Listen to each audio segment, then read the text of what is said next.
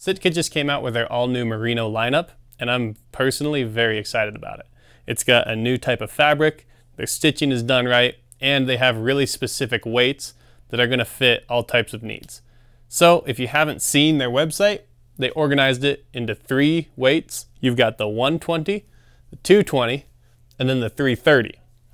Now I'll break those down in a bit, but first I want to talk about the actual merino itself and the way that they spun it. So Sitka uses a process that they call ArmorSpun technology. Basically, most merino nylon blends are going to be around 10% nylon, 90% merino, and they've got a nylon core that's then wrapped in the wool. Whereas ArmorSpun is about 15% nylon, 85% merino. And what they've done is taken a merino core and done a strand of nylon around that. That gives you a couple different things. Number one is it gives you increased abrasion resistance because that nylon is on the outside.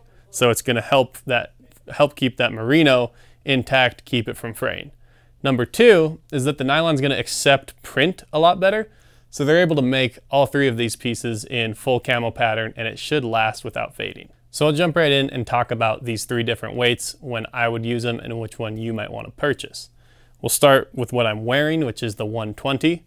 Uh, this is a paper thin layer, and that's pretty unique in merino because when you get this thin, it's going to start to fall apart. But with their new ArmorSpun technology, it should hold together pretty well. I've used it a couple times and there is zero signs of use, even though I was archery hunting with this as an outer layer. So, so far so good. The reason that I'm excited about it being so thin is the dry time. The downside of merino is that it's going to hold moisture, especially on a longer backpacking hunt. You really do not want your base layer to get wet and not dry out. This being so thin, air cuts straight through it, it's super breathable, and it's going to dry in no time. It's going to be comparable to something like the Core Lightweight Hoodie, which is polyester. Obviously, being that it's merino, it's going to help keep the odor down, it's going to add some warmth, it's going to be stretchy, comfortable, all of the things that you're looking for in a base layer in all honesty, this is probably the first piece of gear that I've ever worn that I will say I would take this on every single hunt that I go on. And that's a big claim, but the reason I say that is I will absolutely wear this as a next skin layer on a cold hunt. I would also wear it as a next to skin layer on a really warm hunt. So the merino fibers are gonna hold water a little bit better than polyester.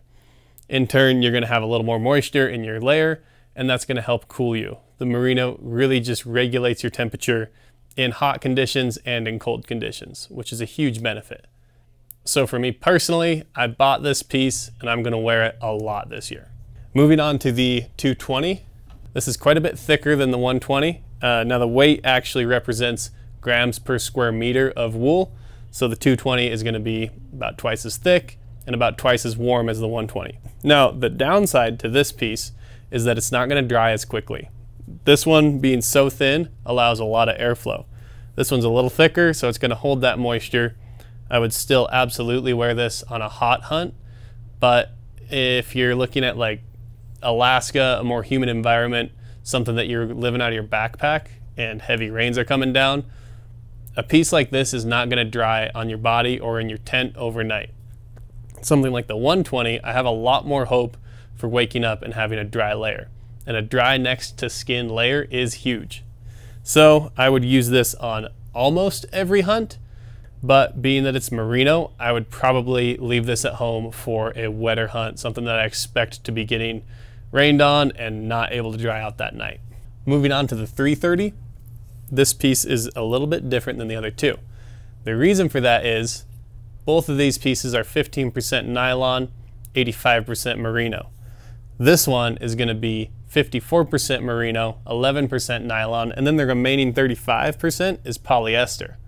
Now what they did, which I think is really fantastic, is they did a polyester lining on your next to skin layer. So you've got the same merino that's in the 220 on the outside, that ArmorSpun, everything's the same. On the inside, they put a polyester layer. So that's gonna help with that clammy next to skin feel that you'll get a lot of times out of these thicker merino layers. Just because it's so thick that you don't get that breathability, the polyester is going to pull the moisture away from your skin. The merino is going to soak that moisture up. So this is going to mitigate a lot of the complaints that people have about a thicker merino feeling clammy. Personally, I would probably go for the 220 or the 120 over the 330 for most any purchasing decision, but I would absolutely wear this on a very cold hunt. Being that I'm mostly hunting big game though, I'm probably to look for something a little thinner, something that's to dry quicker, and something that I can have a little higher exertion in. Now, as far as weight and price goes, you're looking at 6.1 ounces and about 120 bucks. You're looking at 11.1 ounces and $199. Then over here, you're at 15 ounces and 220. So there's definitely a weight penalty. It's not quite linear, and the price is not linear either. Another reason that I would say if you're just starting out and looking for a great base layer that you can use anytime, the 120 is really it just it just fits that niche perfectly. So I'm really excited about this piece. If you can't tell, uh, I plan to use it a lot this season and see how it holds up because, again, being so thin, uh, it's it's really susceptible, especially when worn as an outer layer, to tearing and falling apart, which I hope that it does not. One more feature that I forgot to mention uh, is the fact that Sitka does all of their stitching on the inside. This is somewhat common, but a really big thing to look for if you're looking for a merino layer. Those stitches will grab any sort of brush and come apart and it's, it's a mess. So definitely look for a piece that has stitching on the inside, such as all of Sitka's merino line. If you have looked at their website, you'll see that they also came out with bottoms in the same weights. I won't go into that too much because that's really dealer's choice, but personally, I would definitely purchase the 220 bottom. I think the 120 bottom is going to be just thin enough that it won't make a huge difference. Uh, it, it'd be nice, but I don't know if I'll spend my money on that. The 330 bottom is going to be a little thicker than I want personally. But if you're going to be a little more stagnant on your hunt, or if it's really cold out, that could be a great option. They also have the Intercept line, which has a top and a bottom meant to be an outer layer. The Intercept hoodie is going to be just like your 220, but with a couple extra features, some pockets, a couple hood features, things that make it a really great outer layer for archery hunting. The Intercept pants, however, are a whole different beast. They have a grid merino backer on the inside, so that's going to give you your insulation, your odor control, and on the outside, they went with a nylon. The reason for that is any merino pant is just going to fall apart uh, over extended use, especially when you're archery hunting, you're crawling on your knees. So they decided to put a nylon outer on that. It's got good pockets, it's got knee pads, it's got all the features that an archery hunter would want, and it's still gonna be deadly quiet. I'm gonna do a video on those hopefully at the end of this year after a little bit of use and see what I actually think. But I am really excited for those pants. It's a first in the industry and it's definitely an innovative product that I am excited to get my hands on. Now real quick, the last thing I wanna cover is fit because that's always a question, right? Which size should you order? Normally Sitka's pretty good, but every once in a while I find that I need to size down. What I've found is the 220 and the 330 are both true to size. I'm normally a large, I would wear a large in both of these.